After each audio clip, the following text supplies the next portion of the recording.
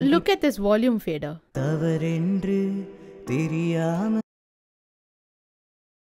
Hello everybody and welcome to another YouTube video. In today's video, we're gonna learn about how to add reverb and delay to our tracks. So we'll be learning about how to send the signal through an aux to a reverb and a delay plugin. So let's get started.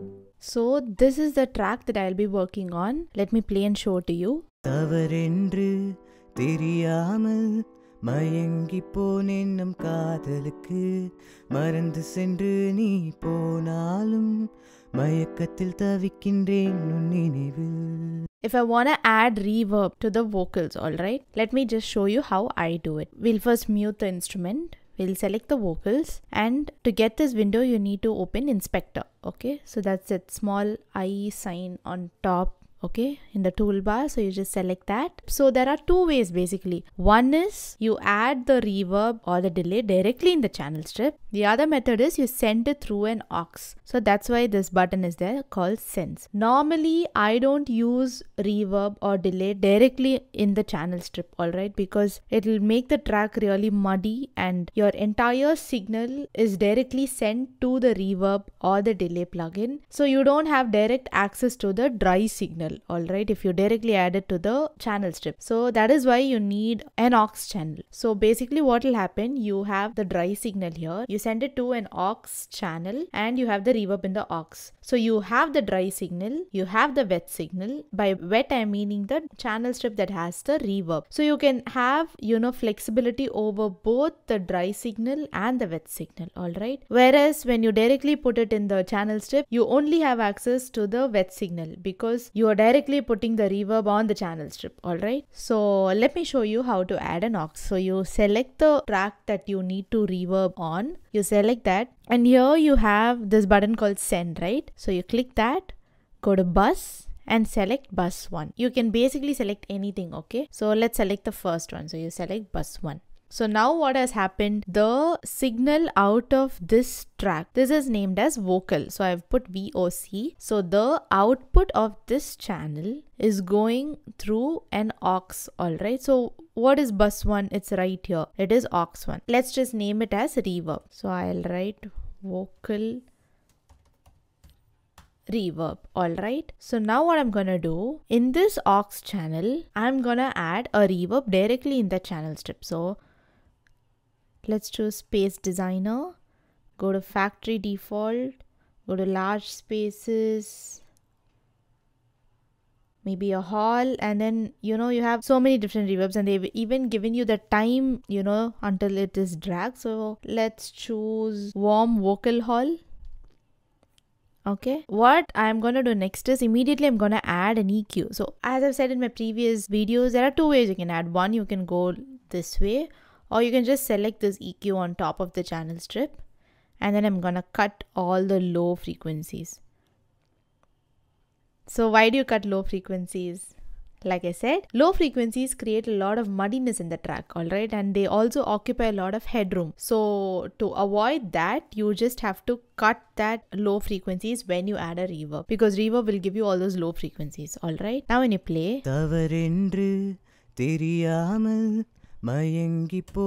can you hear the reverb? Okay, if you said yes, then you're wrong. You cannot hear any reverb right now. That's because you've just added the effects here, you've sent it here, but you've not mentioned how much of the signal you want to send it here, okay? So that is the purpose of this small circle over here, alright? So when you press option and click here, it'll come to zero, or you can just, you know, click and drag. So it is zero. Now what's happening? The entire signal from this track is going straight into the vocal reverb. Now let's listen and see. தவறென்று தெரியாமல் மயங்கி போனேன் நம் காதலுக்கு Definitely you can hear the reverb, right? So that is how you do. Let me show you the reason why I am cutting the low frequencies here by actually showing you the signal over there. So this is the signal coming out, okay? And let me, you know, solo only the reverb and show you.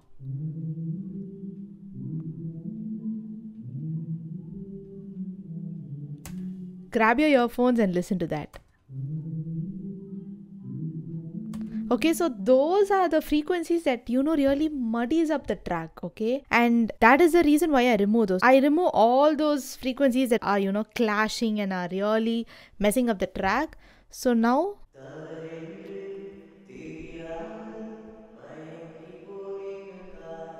So can you see the difference? It's very clear. So that is the reason why I do that. Now let's unsolo that. So so now what's happening? You have added reverb to the track. But the problem is there is too much of reverb in the track. Alright. Now I'll show you two methods how to control the reverb or the wet signal. Okay. Method number one. You control the amount of signal sent to the aux through this circle. So like I said, you can click drag. Okay.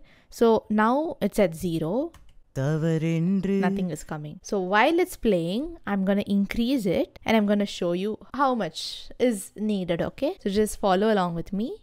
தவறென்று தெரியாமல் மயங்கி போனேன் நம் காதலுக்கு மறந்து சென்று நீ போனாலும் மயக்கத்தில் தவிக்கின்றேன் உன் நினைவில் So that is one way how you do it. You control directly over here while the audio is being tracked. And also, I don't generally, you know, control the reverb when it is soloed, okay? I played along with the instrument. Now let's try it. தவறென்று தெரியாமல் மயங்கி போனேன் நம் காதலுக்கு மறந்து சென்று நீ போனாலும் மயக்கத்தில் தவிக்கின்றேன் உன் நினைவில் Okay, I feel that is okay. So that is one way. You directly control the wet signal over here. Now let me show you the other way. So let's keep this send to zero. So how I do that? I just press option and click here. Now what I'm to do, we have a separate track for vocals. We have a separate track for the instrument. I want a separate track for the reverb that I've put here. There's a channel strip here basically. So I want that to be shown over here as well.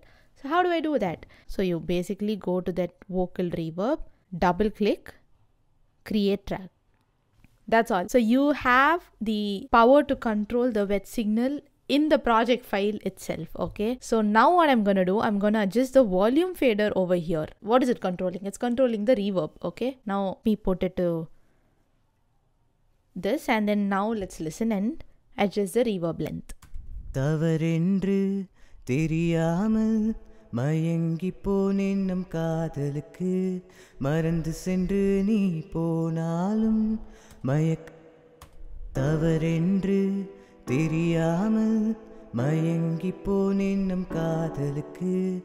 மறந்து சென்று நீ போனாலும் Okay, so those are the two methods by which you can add reverb. And the method that I prefer or the method that I usually do is adding it over here. So this gives me a lot of flexibility. I get to have my own channel strip for the aux channel. And then, you know, it basically acts like a separate channel strip itself because it has its own volume fader, it has its own space to put plugins in, and it has its own space basically. Now let's go and check out how we're gonna add delay okay? This bus one if you don't know what you've renamed it just click it here and it'll show you. So it is vocal so what's happening? The audio from this track is also going into aux which is vocal reverb and the output of that is going to the stereo out all right so that is the flow of the audio. Let's add another bus so that we can add a delay to it okay? So you again click the small bar here go to bus go to bus 2 and let's name that vocal delay. Let's directly bring it to the project. So you double click, create track. So you have it here. Now we're going to add our delay plugin. So let's go and add a stock delay plugin. Let's add stereo delay. And let's maybe put both of these in a quarter note. 1 by 4, 1 by 4. All these are 200 and like I said, how reverb, you know, creates a track muddy with all those low frequencies, delay also does that. So you immediately add a EQ plugin, cut off the low frequencies, all right. Go to bus 2, option click. Now everything is going. Okay, so now it's at 0 dB. Let's listen to it. You're gonna hear a lot of delay now. தவறென்று தெரியாமல் மயங்கி போனேன் நம் காதலுக்கு What's basically happening is you can hear the delay very near to you, right? Say you wanna hear the delay from a little far off distance, okay? What you can do is in the delay plugin, right before the EQ, you can even add another reverb to it. Okay, so let me add same space designer and let's add the same thing. So I took large spaces and then warm vocal hall. Now let's see what's happening.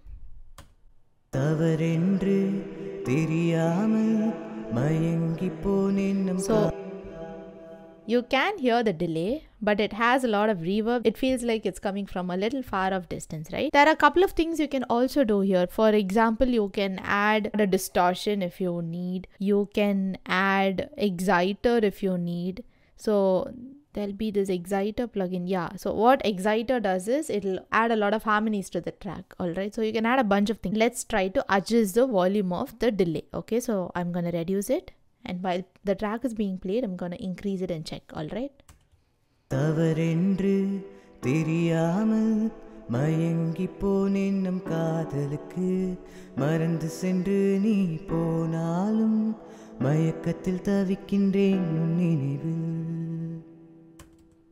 தவறென்று தெரியாமல் மயங்கி போனேன் நம் காதலுக்கு மறந்து சென்று நீ okay so the track is sounding way better right now let me mute these two தவறென்று and show you what will happen if I directly add the reverb to the channel strip. So this is what is gonna happen. Let's add an EQ again. Now let's see what's happening.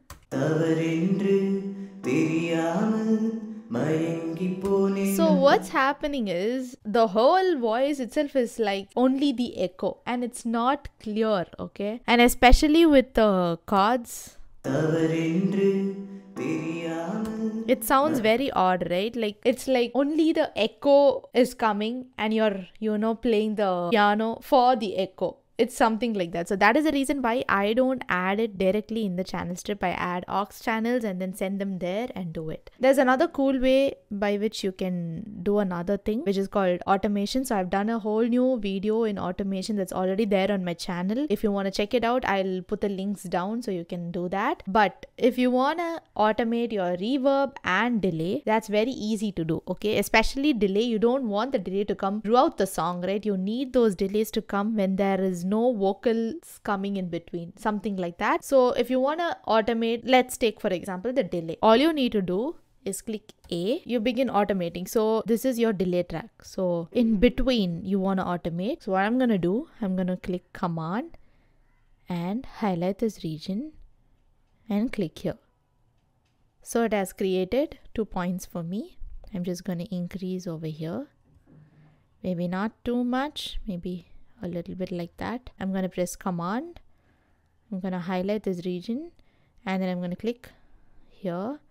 Increase it.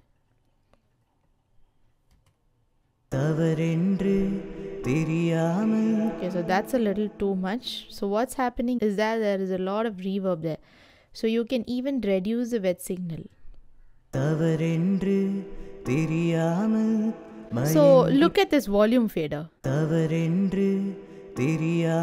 So you get the point, right? Like if you don't want the reverb in the same way throughout the track and you need little variations, you can do that. Okay, you just press option, select the area where you want to automate and increase or decrease it. And it's not like you can only add two points. You can just click how much ever points you want, you can add. Okay. So you just add your delay and reverb and you automate the volume so that it really pops up in places where there are no vocal or where there are vocal spaces okay? And you don't want your entire vocals to have the same kind of reverb and delay throughout the song. You need some variations and that's where automation comes in play. So that is the end of this video guys. So this song has already been released and it's out on all streaming platforms. The song is called back in time and i had a fun time collaborating with another musician called Bhuvan and he goes by the name Kenway BK in YouTube. So do check out his work as well. I'll link his YouTube account down in the description as well. So that is how you add reverb and delay to your tracks. Try it out in your tracks and keep practicing and mess around with automation. Only then you will really understand how reverb and delay works and you'll really get the hang of all the sounds that are going on in your track. Alright. So with that being said, thank you so much for watching. I hope this was useful and I'll see you guys in another video.